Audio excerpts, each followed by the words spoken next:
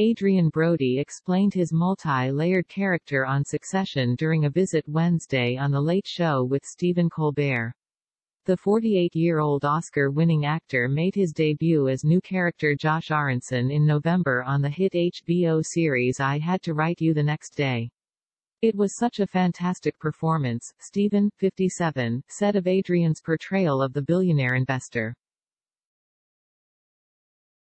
Dot. But the question is, how many layers are you wearing as this character?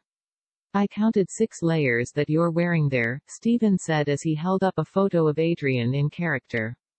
At least, at least, Adrien agreed, why so many layers? What's that choice? Stephen asked.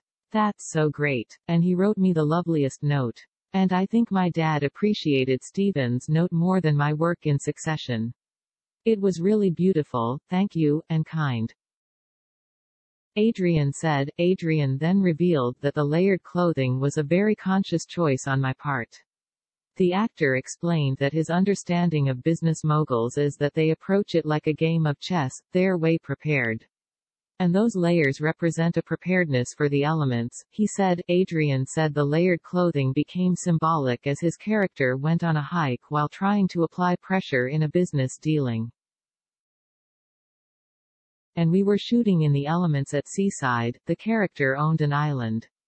And I figured, he's prepared. He has hiking boots. They're in their dress shoes. He wears them down. He's in a position of power. Checkmate, he added. The clothes make the man, Stephen said. The clothes make the man. And they make the meme, because a lot of people had a lot of comments about the clothing.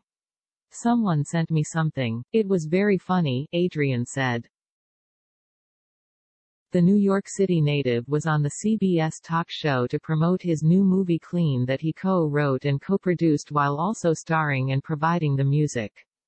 Clean will be released Friday in theaters and on demand.